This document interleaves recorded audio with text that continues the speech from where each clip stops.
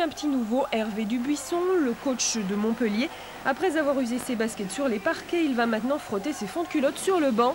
Et les Bisontins en blanc, affamés de championnat, lui réservent des débuts éprouvants. 11-0 après 4 minutes de jeu, Makiver, Bowen et Alinei se chargent du chaos. Pendant qu'à l'intérieur, Yann White est souvent là pour conclure le travail collectif.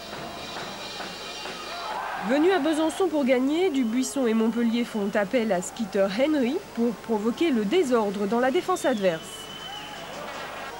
Puis les Bleus refont une partie du chemin grâce au tir à trois points de Sormonte et Racine. 35-29 à la mi-temps, les Bisontins paient leurs efforts en défense par de nombreuses fautes, mais gèrent leur avance, notamment grâce à Bowen.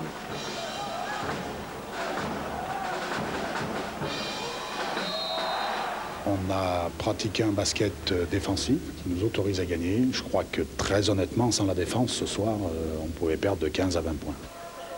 En début de deuxième mi-temps, c'est un peu à toi, à moi. Si White et Dumas essaient de mettre le BBC à l'abri, mais en face, Henry et quelques éclairs de Butter maintiennent le danger.